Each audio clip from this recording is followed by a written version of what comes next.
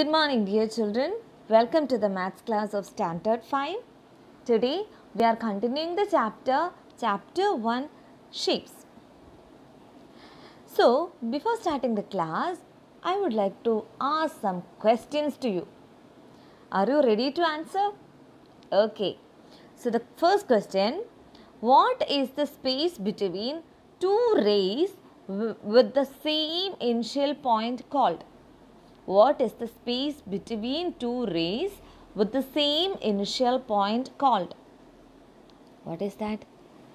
Yes, angle. You can write the answer angle. Yes. Now the B question.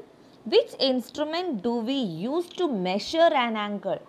Which instrument we use to measure the angle? Yes, that is the protractor. Isn't it? Yes, you can answer like this. Now the next question. Which unit is used to represent the measure of an angle? Which unit? Yes, degree. D E G R E E, degree. You can show the degree as a small zero above the number. Okay, so that is degree. Okay, children, is it clear?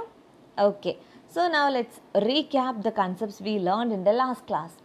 In the last class, we learned about the types of angles. Which are the different types of angles? Acute angle, right angle, obtuse angle, straight angle, reflex angle and full angle or complete angle. Okay, these are the different types of angles. And uh, what is acute angle? An angle that is less than 90 degree is called the acute angle, isn't it? And what is right angle? An angle that is exactly 90 degree are called the right angle. And what is obtuse angle? An angle that is greater than 90 and less than 180 are called obtuse angle. Now, what is straight angle? An angle that is exactly 180 degree is called straight angle. Now, what is reflex angle? An angle that is greater than 180 degree and less than 360 degree are called reflex angle. So, what is full angle or complete angle? A complete angle means an angle that is exactly 360 degree is the complete angle. Clear children? Okay, so today we are going to do some textual exercises and here uh, these all based on the types of angles. So look at these questions. Children, look here. We have learned about different types of angle. So let us try to identify them in real life objects. Here are a few pictures in which angles are marked. Look children, here in these pictures, some angles are marked, isn't it? So, you have to do is identify the types of angles in these items. Okay, so look at these pictures. In this first picture, the this side between uh, this scissor can you say which type of angle is this? You have to suppose that this side is the one arm and this is the another arm and here comes the angle. So can you tell me which type of angle is this? Yes, it looked like less than 90 degree, isn't it? We know 90 degree angle will be like this, isn't it? So it is less than 90 degree. So we can say that it's an acute angle. Which type of angle is this? Acute angle. Now look at the second one. Here uh, you take this side, this one, this side as one arm and this part as the another arm. Okay. Now tell me which type of angle is this?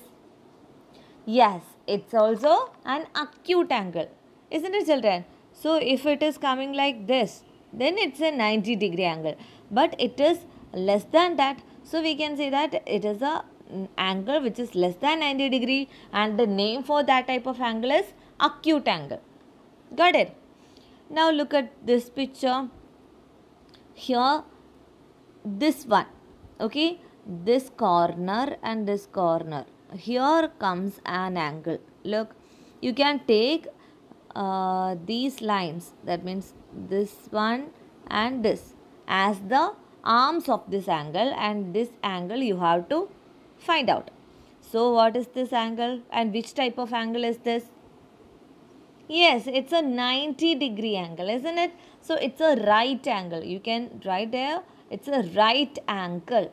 Okay and look here take this line as one arm this one as another arm so which type of angle is this? It looks up and upside down.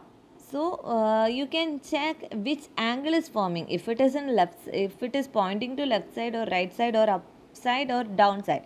That's not a matter which angle is forming here that you find out okay?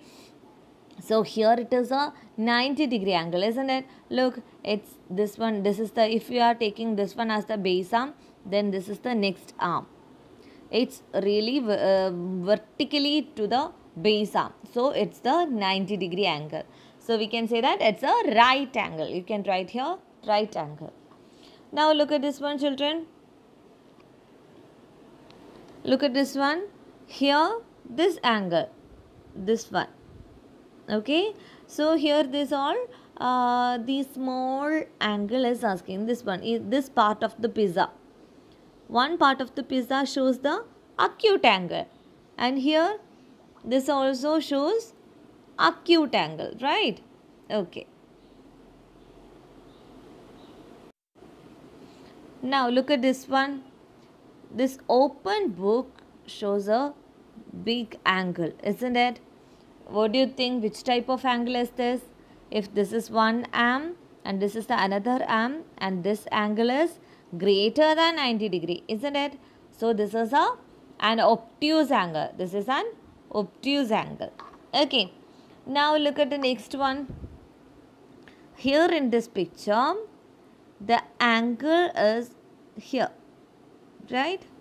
That means the angle which makes what the uh, pen and this book that angle you have to find out. The angle which makes uh, by this pen and this book.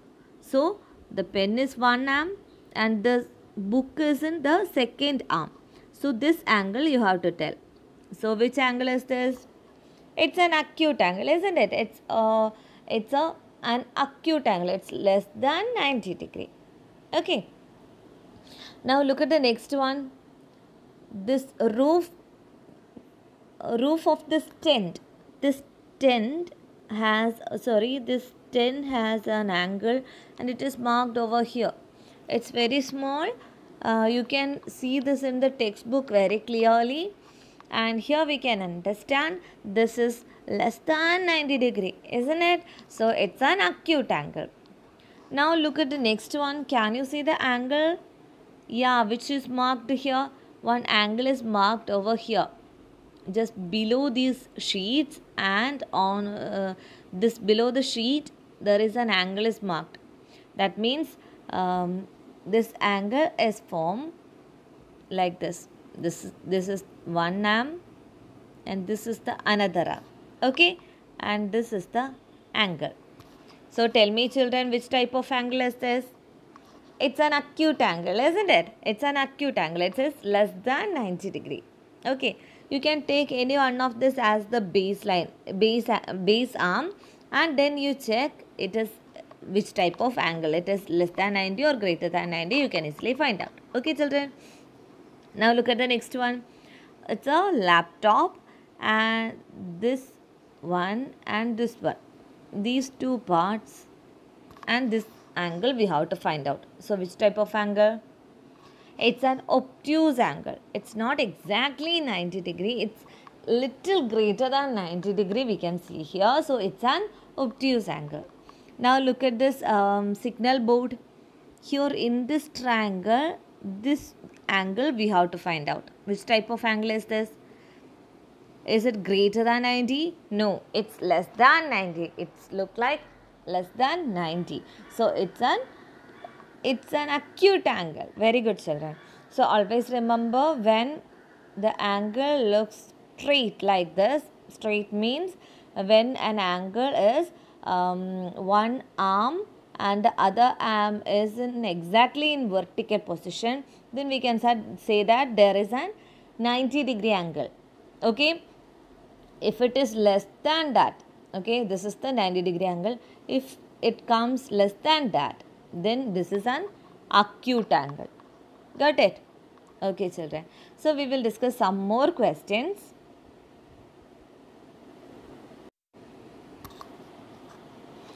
Look children here uh, identify the types of angles formed by the hands of each clock. Look some clocks are given and you have to find out the types of angles formed by the hands of each clock. So look here this is one arm this is the another arm and here comes the angle. Okay so tell me which type of angle is this? Acute angle isn't it? If this one if it is like this if one needle like this then we can say that here is a right angle but it is less than that smaller than this isn't it? So it's an acute angle now look at this one. Here uh, one needle is pointing to 12 and the other one is pointing to 7. So which type of angle is this? Look, if we are drawing a line like this to 9, then that is an that is a right angle, isn't it? But here it is greater than that. So this one is an obtuse angle. Okay. Now look at this angle. It's very easy, right? It's a straight angle. It's a straight angle. Now look here. Yeah, it's exactly the vertical to the this arm. So this is an this is a right angle. Yes. Now look at the next one. It's an acute angle. Yes. And tell me which type of angle is this? Zero angle. Because no angle is forming here. Both are, both arms on the same line. Okay. So, this is a zero angle. Clear children? Okay. So this way you can answer this. So this type of questions you have to expect. Now identify the different types of angles marked in these letters of the English alphabet. Children look here. In this letter some angles are marked. So you have to identify the angles. So this one, the angle which mm, uh, angle which is in the letter A is acute angle.